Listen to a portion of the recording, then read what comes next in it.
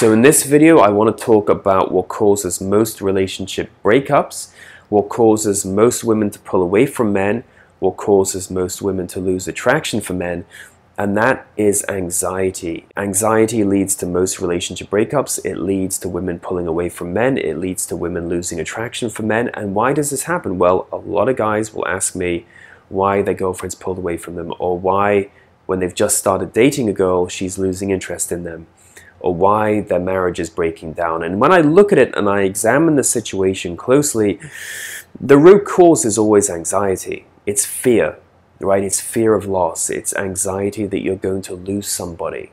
Women hate instability, emotional instability, because it represents weakness in men. How could a woman trust you to take care of her and, her, and your family and kids in the future if you're emotionally unstable? Women want emotional strength, they want confidence, they want ambitious men, men with drive and purpose. And if you don't have these qualities, she's not going to trust you to lead her into a positive future. Women want men who can lead them, but they want men who can lead them into a future that's positive, that's better than today.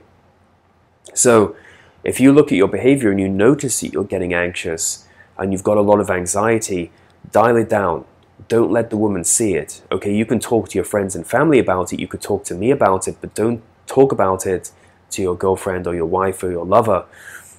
Keep that to yourself and your friends. People who won't judge you, people who are not going to lose attraction for you because you have some vulnerability or you're scared or you're worried.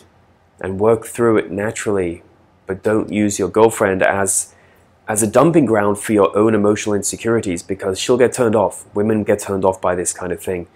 Unfortunately, your lover is not your mother. That's a very important point to keep in mind. So if you want to maintain real attraction with a woman, and to keep attraction strong, I highly recommend you get a copy of my book, Atomic Attraction. It has over 120 scientific studies and over 40 real life case studies, which you'll be able to relate to. If you feel a lot of anxiety in your life, you'll definitely be able to relate to my book because it has a lot of case studies that deal with anxiety and uncertainty.